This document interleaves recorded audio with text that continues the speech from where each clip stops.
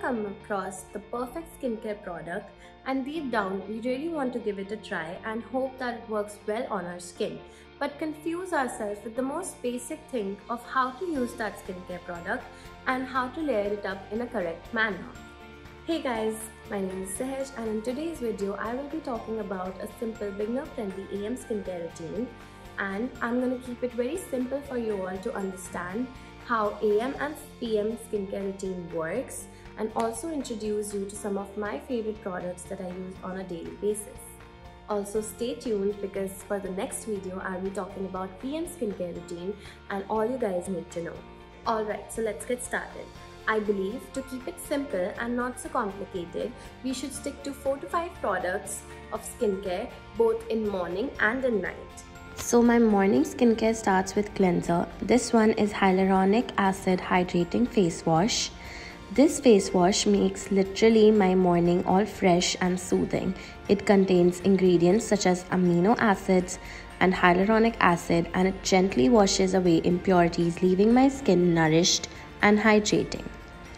After drying my face, then I apply serum which is the clearing serum. This is literally the most beginner friendly serum I have ever come across, especially if you're facing concerns such as spots, marks, or hyperpigmentation, then it's a must used. Honestly, I was really skeptical about it at the first when I started my skincare journey, but this just works so well for me. It's a unique and rare combination of skin friendly active ingredients such as niacinamide and alpha arbutin and literally all skin types can use it. And yes, this serum I prefer to use every day. You can use it too as per your skin type and skin concerns. Then to lock all of this in, I use my go-to moisturizer and this one works for both morning and night skincare. Deconstruct Skin Soothe Moisturizer is uniquely formulated with ceramides and bisabolol and has such a nice cushiony and creamy feel and the fact that it keeps my skin so moisturized, it's amazing. This one works really well for extremely dry, damaged, and inflamed skin. Lastly, the most important and the final skincare step, which is once you're done with your cleansing, moisturizing, and nourishing of your skin, you should go with your SPF. Yes, SPF.